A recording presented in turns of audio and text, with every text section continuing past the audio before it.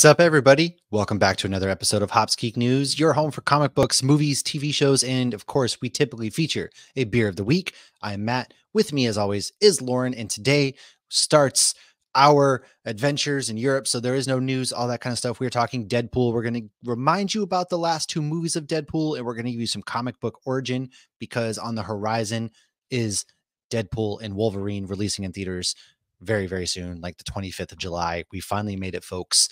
We are here. The only Marvel movie we get, the return of Hugh Jackman in all his beautiful, handsome, muscular glory in that yellow suit. And uh, I know Lauren's excited. I'm excited. We're actually going to get to watch that movie together. So stay tuned for some post theater reactions as we will be watching it together in London. And as always, like, subscribe, share, follow, hit the subscribe button, get notifications when we go live for Cantina hours, when we get any new episodes up there, whether it's Spotify, Apple, drop a review, leave a five star rating. And uh, we do your stuff on YouTube as well. And, uh, and typically we do news and what we've been reading or watching. However, we are not doing that as we stacked some episodes ahead of time because we are not in the country at the moment. So, to give you what I'm drinking real quick before we dive into Deadpool, is Lauren and I chose a good beer for this episode. How could we describe Deadpool other than the goat? And that right there is what we are drinking Mosaic Goat from Two Silos Brewing. It is a hazy double IPA coming in at 8.5%. This hazy double IPA was crafted to showcase a sticky blend of cashmere, Eldorado, and mosaic hops, double dry hop to enhance the already pungent aromas. Taste a balance of overripened tropical fruit, citrus, and stone fruit with slightly sweet finish. It is wicked juicy. It's really good. And uh, like I said, we chose this because Deadpool and Ryan Reynolds are kind of the goat of uh, making all this happen. Number one, he's bringing back Hugh Jackman as Wolverine. Number two, he Ryan Reynolds got it, you know, Deadpool made, and, and it, it really did carry the Fox universe. And now we're gonna see what happens. Maybe Deadpool kills the, the Fox Marvel universe, whatever it may be. So, Lauren, hey, sorry, hey. as she's I was eating, eating her chicken sandwich. Oh yes, your chimichangas. Well, why don't you go ahead and uh, I know you're we're drinking the same thing, so why don't you kick us off? Give us some maximum effort, and uh, let's dive into some Deadpool. Why don't we? Yes. So the first one came out in 2016, starring Ryan Reynolds, Morena Baccarin, Brianna Hildebrand, and more. So because X Men: Days of Future Past happened, you can argue that this new timeline in regards to Deadpool is, or you can argue this is a completely new timeline. And next week's episode, we will get into that a little bit further and recap all those movies, like Matt was just saying. But basically, Deadpool didn't actually need to kill his Wolverine origin self because that may not have even happened. Yeah. Especially because we see Weapon X in Phoenix, which means Wolverine probably didn't escape the day he was pumped full of adamantium. Again, stay tuned. So the recap for the first movie, uh, we do have movie fun facts too, which I had to stop because there was too many movie fun facts. But of course, you know, some of them listed are just Easter eggs. But yeah. Easter eggs in a normal movie are fun facts. Where in this movie, it's you know these movies. Well, I didn't great. realize this movie came out in 2016. It felt like it was sooner than that, I guess. But yeah, this one first came out in 2016 after he leaked the test footage of it was Ryan. Come on, it was Ryan Reynolds who leaked himself in the suit, the whole test footage. Which finally, because they're like, no one's gonna want to see that, and he did it, and then, or somebody did it, and all of a sudden, everybody's clamoring for this movie, and it finally gets made in such a clever, clever manner.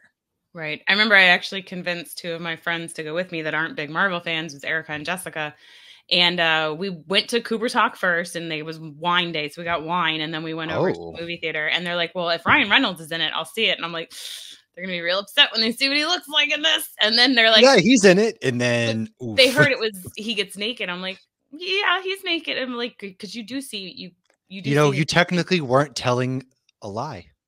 Yeah, well, I kind of wanted to curb their expectations too, and I'm like, well, I don't know how much you'll see but you know, I, I, mean, he's he's at least attractive at the beginning of this movie. Ha! You fell for the oldest trick in the book. but I mean, they both enjoyed it, and it's you know, it's funny even if you don't know all of the backstory. It's just so much more it's funnier if you do oh, know yeah. everything. Like obviously, I was laughing more with more way more than they were. So yeah. here's your recap for the first movie uh, to refresh your recollection. So Deadpool is a loving mercenary with a heart of gold, even though he won't admit it. He falls in love with Vanessa, and they are big on celebrating holidays together. They just love holidays so much. They After do. some time together, they learn that Wade is dying of cancer and has spread everywhere. So by chance, a random guy from the Matrix shows up and offers him an opportunity at some experimental treatment. At first, of course, he says no, but it can't he can't stand to see Vanessa watching him die. So instead, he dips out without even saying goodbye and heads to get experimental cancer treatment, or so that's what he thinks. Where's Francis? It turns out a guy named Ajax, really named Francis Freeman, shares my last name, is people to see if it unlocks mutant gene, so he can then sell them as mutant slaves. It works on Wade. His mutant gene is unlocked, however, it is at the sacrifice of his pretty face. He manages to escape and burns the place to the ground. He's then on a mission to find Francis. Where's Francis?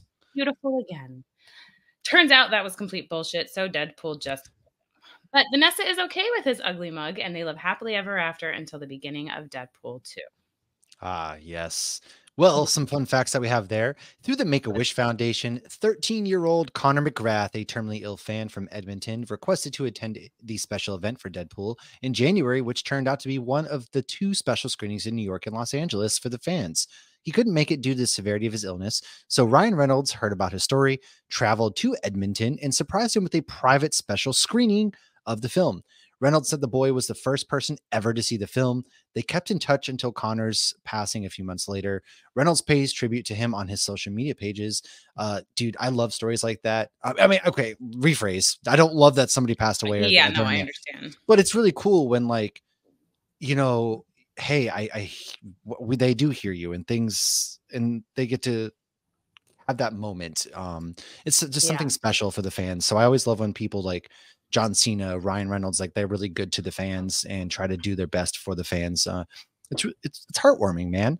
Now, from that point, Dopinder was actually the name of a friend of Ryan's who died as a kid. My God, are any of these fun facts not depressing? I'm sorry. The next this was a way to honor him. Now, hopefully, in in the arcade, you can see a stuffed dog dressed as Deadpool. This is actually a nod to Dogpool, who has been seen in the recent Deadpool and Wolverine trailers. However, Lauren checked it out for herself, and it kind of seems like a bit of a stretch. It's a stuffed black and red dog. Could have been one of those things that I feel like it could have been Clifford, honestly. But I mean, like the mask looked like it was black, like its head was black and red. So I don't. Oh, know. that could have been. Yeah, yeah, I guess maybe could have been. But I mean, if you told me it was Clifford the big red dog with something black on his face, I'd have been like, oh, okay. now, when Fox refused to pay the writers for the film, Rhett Reese and Paul Wernick were on set for input. Ryan Reynolds paid out of his own pocket for them to be on set to look over the film.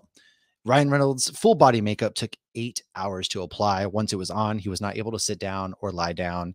I can't even imagine, you know, sitting there for eight hours and then after that you got to film. Like that's that's exhausting.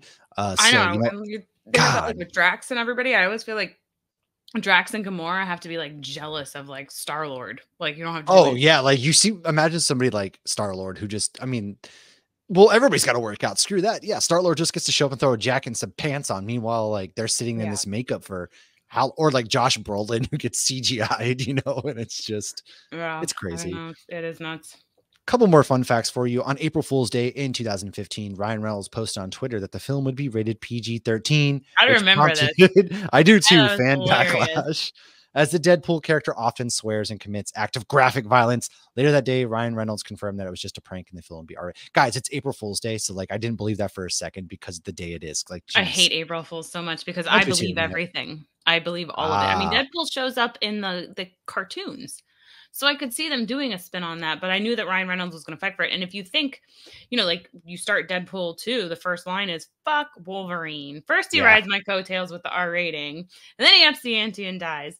But I, I do think he followed his coattails. I don't think that Fox would have okayed a rated R movie. And I was, oh my God, I was watching that one this morning. It's so freaking It is. We'll get to, uh, before we go to Deadpool 2, talk about some of our favorite moments. Logan. Yeah. No, you're good. Uh, the opening credits was originally a placeholder. However, Tim Miller found the parody titles funny enough to put him in the movie. And last but certainly not least, Deadpool forgot his bag of guns because Fox cut the budget last minute and they couldn't afford to add special effects, which is perhaps my favorite one. I heard that when it like this whole thing came out and they're like, yeah, I think this is what happened. Yeah, it's dead ass I hilarious. double checked it on multiple websites until I found one. I was like, okay, I don't think that they would they would lie because I kind of thought that might be like the the Binks cat is the same one as Sabrina the Teenage Witch, which turned out is probably BS but it's on a lot of websites. But I think that one sounds like it was, yeah. So yeah, well, the, dude, this movie's so good. I did see it in theaters. Um, the guy who plays Ajax or Francis, he was in Deadpool actually, or Deadpool, of course he was. He House was in of, uh, Game of Thrones. Game of Thrones. The yes, he was the first iteration of I forget the name, but Khaleesi's little boyfriend there, and then they Ed Skrein is his name, and yeah, then and then they replace him with somebody who doesn't even look like him. yeah, I don't really understand that, but he's a great actor. He's in Midway. He's in some other things. I like him as an actor. Uh, Yeah. I thought the fight sequences in this movie were really good. It was bloody. It was really funny how like the humor. I mean, Ryan Reynolds captured uh, the fourth wall breaking. I thought T- Negasonic, Teenage Warhead, and Colossus were freaking amazing. He's like, are the rest of the X Men in there? Oh, we couldn't afford them. Like stuff like that was absolutely incredible. Uh, and then you know that big fight scene kind of on the ship at the end and what's her name gina carano Oh. Ugh, It's on a beats his ass. helicarrier. that's what it is yeah the helicarrier that was like the first like oh is this you know going to be in the mcu and of course not yet but yeah I mean, uh, so freaking crazy. It's so crazy. Okay. I'm still like on cloud nine about the fact that this is happening. I need to put my sweater back on. i know Um, i hear i'll take us before you give us the fun facts for deadpool 2 while you put your sweater on i'll give us a movie recap of our deadpool 2 real quick now josh brolin plays cable in this one now deadpool is just working the old 9 to 5 killing the bad guys getting ready to start a family with vanessa when she is suddenly murdered wade goes into a bout of depression and ends up at the x mansion he then goes on a mission with them as a trainee because Russell is lighting his mutant orphanage up. However, side note, the mutant orphanage is the Essex House for Mutant Rehabilitation. Nathan Essex, Essex is actually sinister.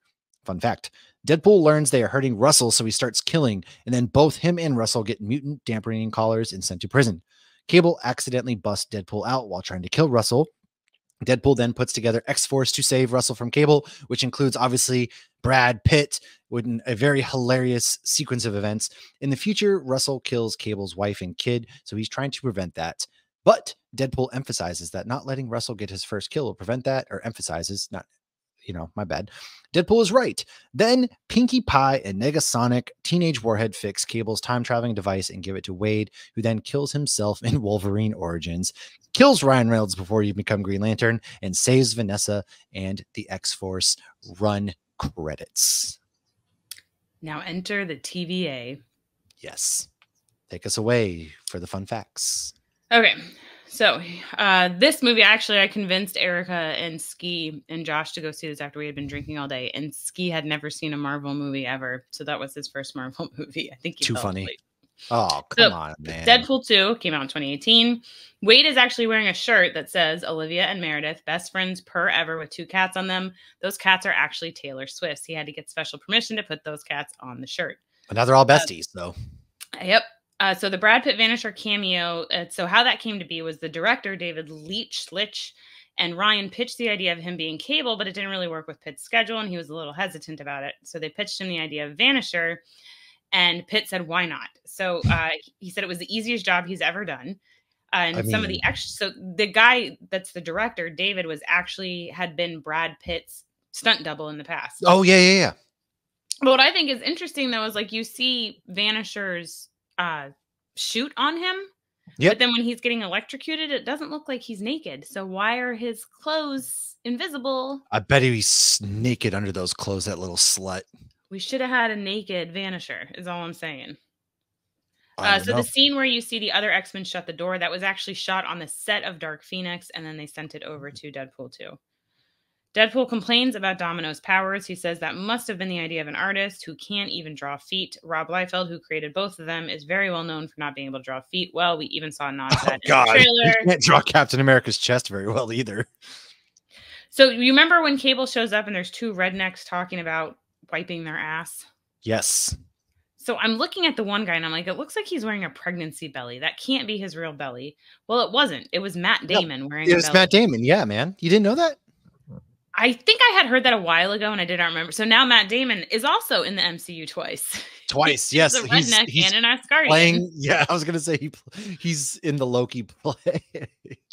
uh, and Alan Tudyk is the other one, and I believe that's the pirate. That's everyone's favorite yes, pirate. that's uh yeah, Steve. Arr, arr, So Cable's gun actually weighed 70 pounds. Wow. uh, Rob Liefeld was on set and he asked if he could hold it, and he's like, "It's really heavy," and it was very heavy. So, to promote the movie, 20th Century Fox recreated Blu ray covers for uh, 16 popular Fox movies, with Deadpool appearing as the lead character. Um, some of them were Terminator, Predator, and Fight Club.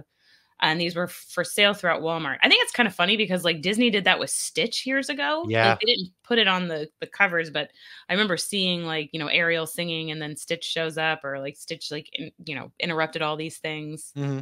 But so, I mean, I thought that was cute. So, Zeitgeist can be seen with the number 116 tattooed on his left shoulder. This is actually a reference to the only comic book he ever appeared in, X Force 116. And my last fun fact for here is Ryan Reynolds stole the Dead Logan music box, which I feel like they should sell that. They probably have it on They Etsy should. or something. But like, I would, I would buy that. Of course you would. What's your last? The last fun fact is Korg and Deadpool team up to review the trailer for Free Guy together. So Deadpool and Wolverine is not the first MCU Fox Marvel crossover.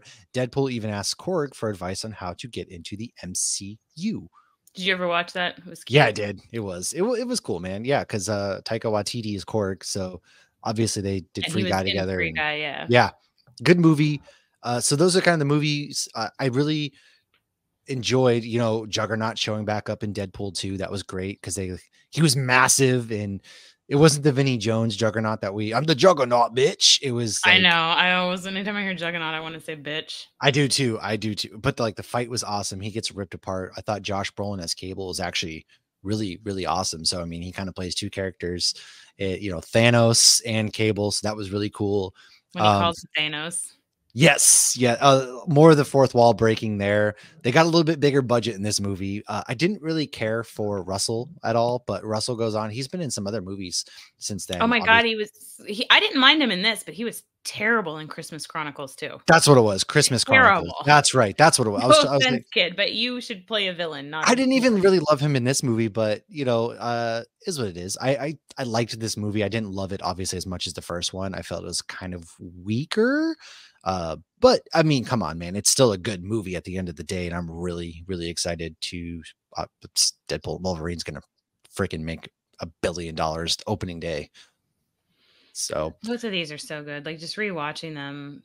And I've I've been rewatching all these movies completely out of order in like increments because like Josh will have one on, or I'll be Yeah. watching, or like Days of Future Past was on HBO and I started it and then left for Pennsylvania, came back and it was gone, and that now it's on Disney Plus. So I just finished it on the treadmill today and then started Logan. So when I actually map out my notes for next week, it will it will make more sense in my own head then because I've been watching these out of order.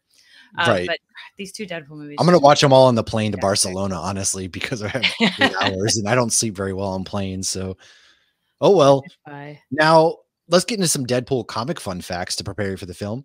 Wade Wilson, aka Deadpool, aka the Merc with the Mouth. His first appearance was in 1991 in New Mutants issue number 98. In this story, he was a mercenary looking for Cable. The New Mutants stopped him and then mailed him back to his employer, Tulliver.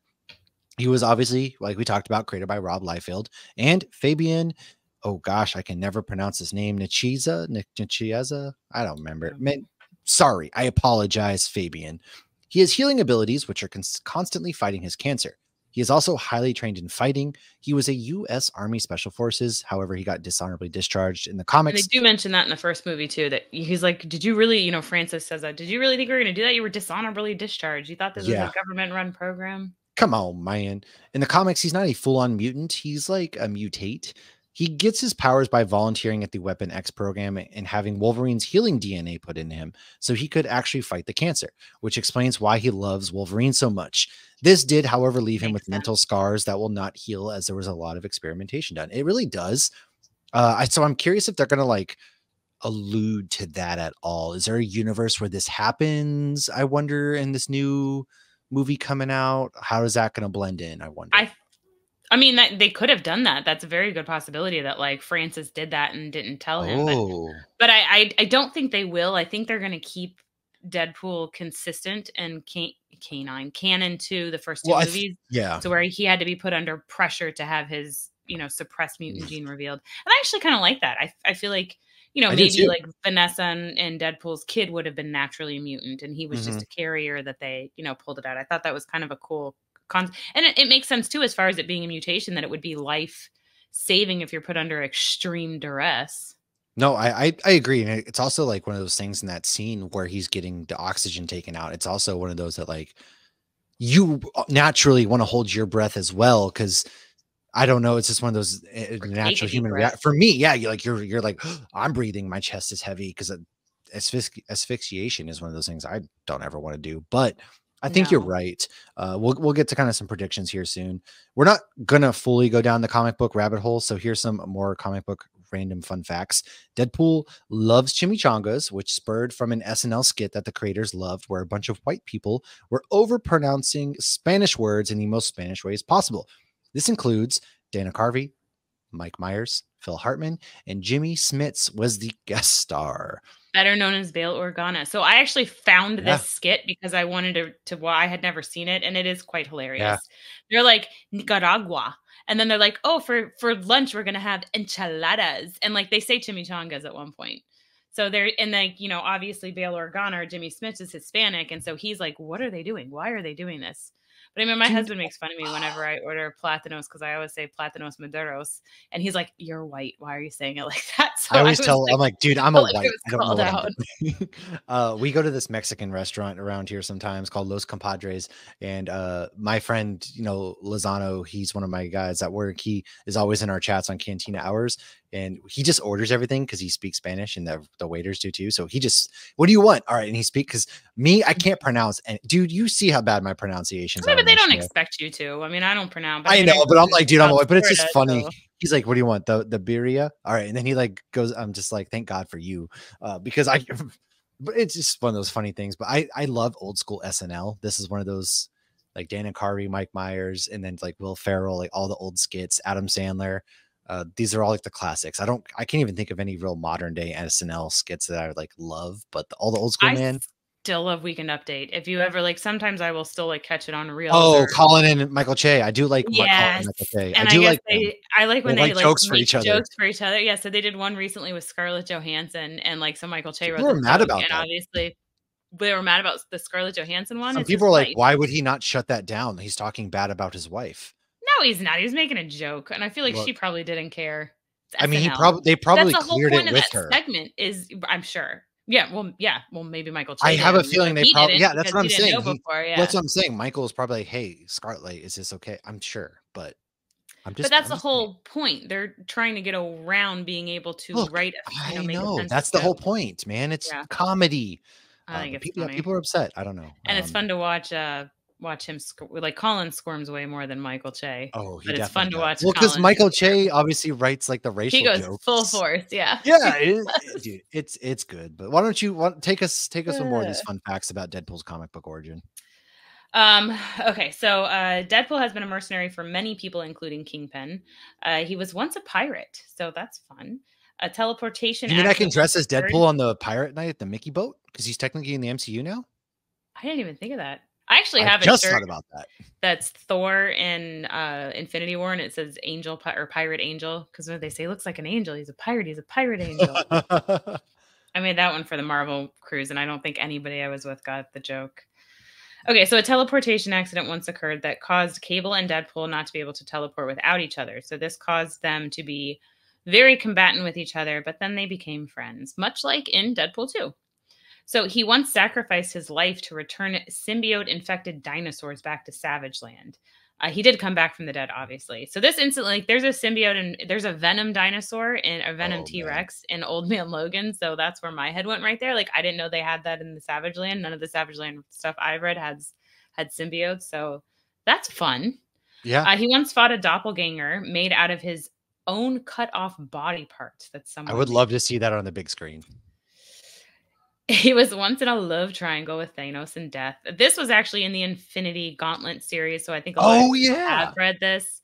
Uh, Deadpool and Death were more of like a couple, and Thanos was in love with her. That's why he got the Infinity Stones and snapped away half the universe to try to impress her.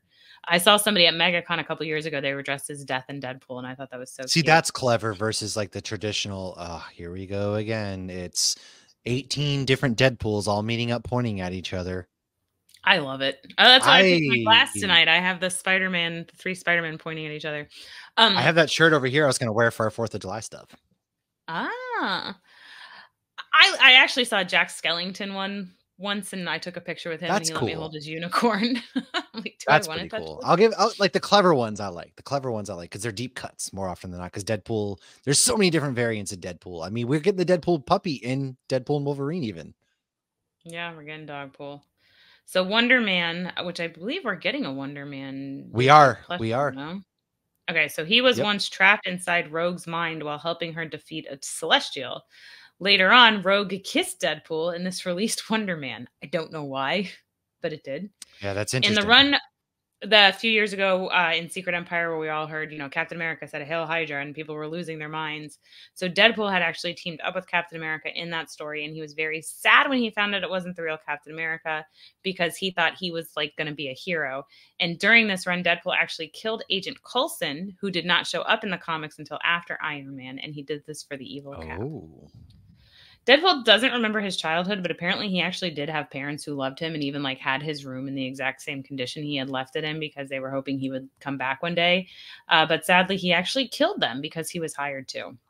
oh, And my last bit of fun fact so Deadpool had to form a team at one po- point called the Deadpool Corps. Once, and they did this to save the multiverse. So this team of Deadpools was from alternate universes, and they were founded by Earth's 616 Deadpool or 616 Deadpool.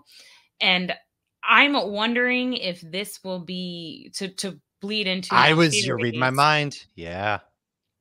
So yeah, I mean, because we know we're gonna have Dogpool, we know we're gonna have Deadpool, and we know we saw Lady Pool. That's So what. I- that's- yeah. Three right there. I think uh, that's what I was just about to say. Uh, because this was essentially he was chosen by the contemplator in stopping a cosmic entity known as the awareness that discover or devours the multiverse's consciousness. In truth, the Deadpool Corps real power to stop the entity is their unique mind that ultimately made them absolutely immune to the entity. Now, I, I fully agree that this might be where the movie's going because we don't know who Lady Deadpool is yet. Some people have said it's Taylor. I don't. I think it's Some Blake people think it's Lively or Vanessa. It's going to either be Vanessa or Blake Oh. Lively. Those, Vanessa, those I um do believe, is a superhero in the comics. probably. She Uh, is somebody so- here. I'll Google that real quick. I, I do think that's going to happen. I mean, of course. So we've got three right there, and then you've got obviously Hugh Jackman's Wolverine. So I think we're going to get some version of the Deadpool Corps. There's probably going to be like a montage scene because a lot of this movie looks like it takes place in the Fox universe or the the, the No Man's Land, essentially, whatever it is of the multiverse. And there's incursions. We got the TVA comes into play at a point. Uh, there's a lot of old X Men bad guys, Lady Deathstrike. Some of the other ones are making appearance in the trailers that we've seen, and then somehow this is going to bleed. Like Deadpool's going to end up in the MCU. I don't necessarily, obviously, think Hugh Jackman, but I do think we're going to potentially see our MCU version of Wolverine. I really feel like that's they're teasing that just to get a reaction somehow, which is Patch. Like maybe, I don't know. Yeah. Um, so Vanessa is in the comics. She's copycat, which is kind of like a mystique where she can shapeshift into anybody. Hmm, right, right. So yeah, Vanessa Carlysle. So. She Vanessa. does have a romantic history with Wade Wilson in the Deadpool comics. Uh, I don't know how many Wolverines we're gonna get. I don't know how many Hugh Jackman Wolverines we're gonna get. I'm going. I, I don't I don't know. I have mixed feelings on variant Wolverines, and like some people have said, like that might not be Hugh Jackman as Patch because we only saw Patch from behind. Uh, I really hope it is Hugh Jackman. I don't think it that'd be. I really cool. don't think it is. I also like whoever it is, they're on Madripoor. They have to be because that's the only time like Deadpool Yeah. really uses. I think there's been or uh, Wolverine really does patch. I think there have been other times where he's like like at an auction or something like that where he'll be like, you know, let me dress this patch. Even though it's not very subtle, we can still see your hair. You're not doing your hair any other way, and you're still very like much so stick out with being this. we like, know who you are, man. dude that's five three, right? Yeah. Uh, but I think it'd be really cool if they start to weave in some of, you know, like Agent 13's in Madripoor. Are we going to see any of that? Like all these things that they've been building since Endgame. Are we going to get any of that in here? Are they going to answer any questions, or is this just going to be a fun standalone Deadpool saves the multiverse? The end. No, I I really don't think this is just going to be one of those funny throwaway movies. I think this is perhaps going to be one of the most important movies that we're going to get out of this next series of MCU films that bleed into this multiverse saga they're building, right? I truly believe that. Like obviously phase 4 people kind of like they haven't done anything with like Shang-Chi yet, and a lot of the characters that they've introduced, Blade stuck in developmental hell. Uh, yeah, we're getting the Fantastic Four, which is going to be set in the 60s. Uh, I think they're going to somehow fold into the modern day. They're going to get trapped somewhere. But I really, truly believe maybe from Deadpool Onslaught is going to. I don't know. I mean, I yeah, yeah. I mean that that's very. No, no. I, I I truly think that we're on. Like you're honest. I don't think this is just a throwaway movie. I think they're going to use Hugh Jackman's return and Ryan Reynolds as a jumping point to launch because you know they're right now they're kind of stuck right uh, the Kang saga clearly isn't working out because of everything with Jonathan Majors uh, so I really think that hey we're back on track now we've we've pulled back on all the MCU movies we've reshot some we've rewritten some all the shows even we're slowing things down boom, we're going to launch this movie this year. And I think they're going to fold a lot of stuff in. It's going to be way more important than I think people, yeah, it's going to be funny, mm-hmm. but I think it's going to be way more important than people think that it's going to be. I love that. I also wonder, like, with it being the TVA, is this before the Loki thing with the TVA? Is this after? So I feel like that's a big thing. I, I, wish with all these movies now, they would just tell us where they are in the timeline. Like, where are you? What multiverse are you in? Just to to help us all because i feel like I... the last few years we've been struggling with like Good did question. this take place before that or that before this and they released the the book maybe i need to get the book but well, we had some technical difficulties, but we pretty much wrapped up everything we wanted to say about Deadpool as the movie's getting ready to release in a couple weeks. Follow us on social media because Lauren and I are headed to Europe where we are going to be on a Disney cruise like we've been talking about. It's finally here. We're going to be in Barcelona and then stop in some other spots. And then we are going to watch the movie in, you know, London, England, which is pretty exciting let us know what we might have missed with Deadpool 1 and 2, maybe some theories that you guys had. And as always, follow us, Hopsgeek News, any podcasting platform, any social media platform. Man, so excited for this movie. And thank you guys. Stay tuned as we have some really cool creative interviews coming up this week. Next week, we're going to be talking about the Wolverine timeline. And then we have our patch and other Deadpool slash Wolverine Fox Universe characters that might appear in the Deadpool film. And uh, we're just doing a lot of really cool stuff. So thank you guys for hanging out. We will see you guys next time. Cheers.